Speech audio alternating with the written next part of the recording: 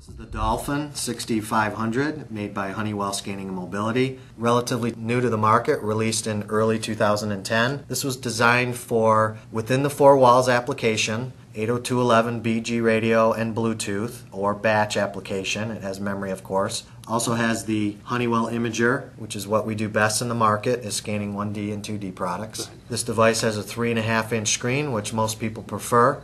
So some of the things you're going to need within the four walls, of course, is barcode scanning, image capture, possibly. Our imagers are digital cameras, so you can capture a picture with the image as well. Additionally, uh, the imager, although it scans barcodes, one-dimensional and two-dimensional, can also double as a camera.